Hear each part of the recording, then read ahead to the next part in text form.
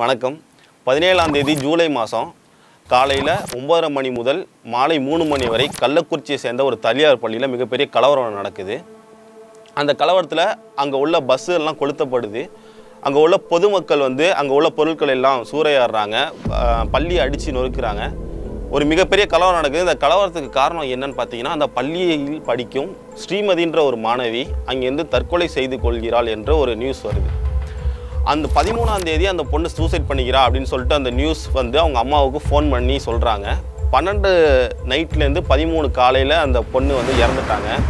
அந்த அம்மாவுக்கு வந்து ஃபோன் பண்ணி உங்கள் பொண்ணு வந்து இந்த மாதிரி மாடியிலேருந்து கீழே குதிச்சிட்டா. பாருங்க அப்படின்ற மாதிரி சொல்கிறாங்க உடனே உங்கள் அம்மா கிளம்பி போகிற வழியில் வந்து திரும்பி இன்னொரு ஃபோன் கால் வருது. உங்கள் பொண்ணு இறந்துட்டா அப்படின்ற மாதிரி ஒரு ஃபோன் கால் வருது.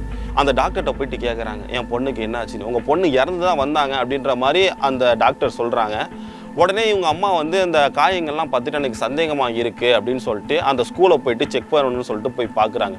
மேலேருந்து கீழே விழுந்ததுக்கான ஒரு தடையுமே இல்லை. அது மட்டும் இல்லாமல் சிசிடிவி ஃபுட்டேஜ் அவங்க கேட்குறாங்க சிசிடிவி ஃபுட்டேஜ் வந்து பார்க்கும்போது அவங்க வந்து எனக்கு சரியாக அந்த சிசிடிவி ஃபுட்டேஜ் தெரியலை. எனக்கு வந்து அதில் ஏதோ சந்தேகமாக இருக்குது அப்படின்னு சொல்லிட்டு சோஷியல் மீடியாவில் இதை பற்றி பேசுகிறாங்க அதாவது நாங்கள் வந்து ஸ்கூலில் வந்து ஃபஸ்ட்டு டிசி கேட்டோம். அவங்க தரவே இல்லை. அதுக்கப்புறம் வந்து என் பொண்ணு வந்து மேலேருந்து கீழே குதிச்சிட்டான்னு சொல்கிறாங்க அந்த சிசிடிவி ஃபுட்டேஜில் எனக்கு சந்தேகமாக இருக்குது அதுலேயுமே எனக்கு நம்பிக்கையே இல்லை. என் பொண்ணு வந்து தற்கொலை பண்ணிக்கிறதுக்கு வாய்ப்பே கிடையாது. அந்த ஸ்கூலில் வந்து அந்த பொண்ணோட தம்பியும் படிக்கிறான். ஸோ அவன் வந்து அடிக்கடி கம்யூனிகேட் பண்ணுறதுக்கு அவன் ஹெல்ப்ஃபுல்லாக இருந்திருக்கான். என் பொண்ணு வந்து நல்லா தான் இருந்திருக்கா அப்படின்ற மாதிரிலாம் சொல்லியிருக்கிறாங்க. இந்த பொண்ணு வந்து ஒரு சூசைட் லெட்டர் ஒன்று எழுதி வச்சுட்டு இறந்து போனதாக வந்து அவங்க பெற்றோர்கிட்ட வந்து காட்டப்படுது. அந்த சூசைட் லெட்டரில் வந்து இந்த மாதிரி என் டீச்சர்ஸ் வந்து என்னை கொடுமைப்படுத்துகிறாங்க ரொம்ப அடிக்கிறாங்க ரொம்ப வந்து ரூடாக நடந்துக்கிறாங்க. எனக்கு வந்து அது ரொம்ப கஷ்டமாக இருக்குது அதனால நான் சூசைட் பண்ணிக்கிறேன் அப்படின்னு சொல்லிட்டு அந்த லெட்டர் வச்சு எழுதி வச்சுட்டு செத்து போயிருக்காங்க. அந்த லெட்டரில் இன்னொன்று என்னென்னா இந்த ஃபீஸ் எல்லாம் திரும்பி எங்கள் அம்மாட்ட கொடுத்துருங்க. நான் கொஞ்ச நாள் தான் அந்த ஸ்கூலில் இருந்திருக்கேன் அப்படின்ற மாதிரி அந்த லெட்டரில் இருந்திருக்கு.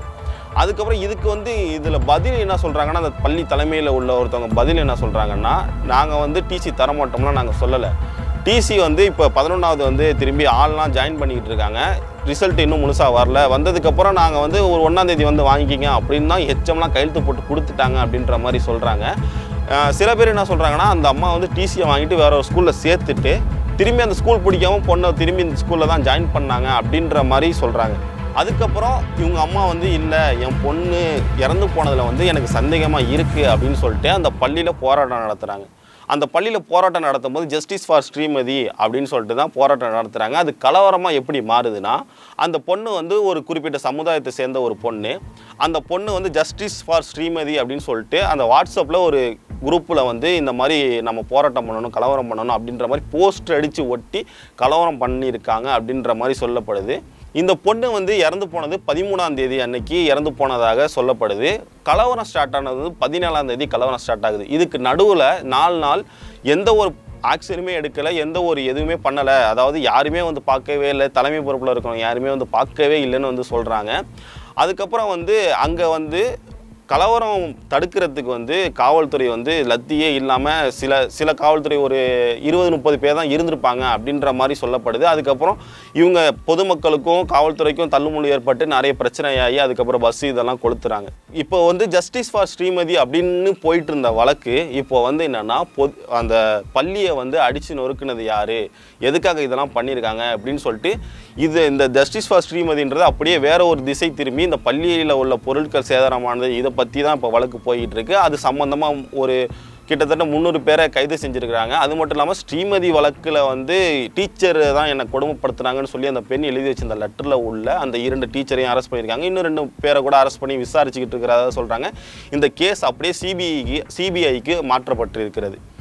அதுக்கப்புறம் வந்து இந்த பொண்ணை போஸ்ட்மார்ட்டம் பண்ண ஃபஸ்ட்டு ரிப்போர்ட்டில் என்ன சொல்கிறாங்கன்னா அந்த பொண்ணுக்கு தலையில் அடிபட்டிருக்கு.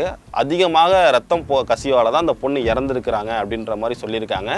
இருந்தாலும் எங்களுக்கு இதில் சந்தேகமாக இருக்குன்னு சொல்லிட்டு அவங்க பெற்றோர்கள் திரும்பி வந்து எங்கள் போஸ்ட்மார்ட்டம் பண்ணணும். அந்த போஸ்ட்மார்ட்டத்தில் பெண்ணோட பெற்றோர்கள் அதுக்கப்புறம் வக்கீல் அதுக்கப்புறம் வந்து அவங்களுக்கு தெரிஞ்ச ஒரு டாக்டர் இருக்கணும் அப்படின்ற மாதிரி வழக்கு தொடுத்தாங்க.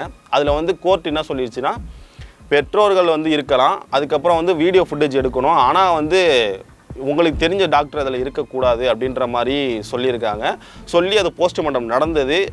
நடந்து அதை வீடியோ ஃபுட்டேஜாக எடுத்திருக்காங்க. ஆனால் அந்த போஸ்ட்மார்ட்டத்தில் பெற்றோர்கள் வந்து கலந்துக்கல.